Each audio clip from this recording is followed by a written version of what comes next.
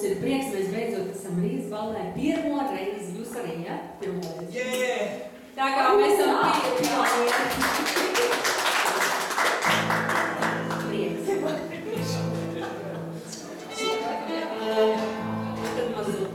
Sandra, sākās, sākās.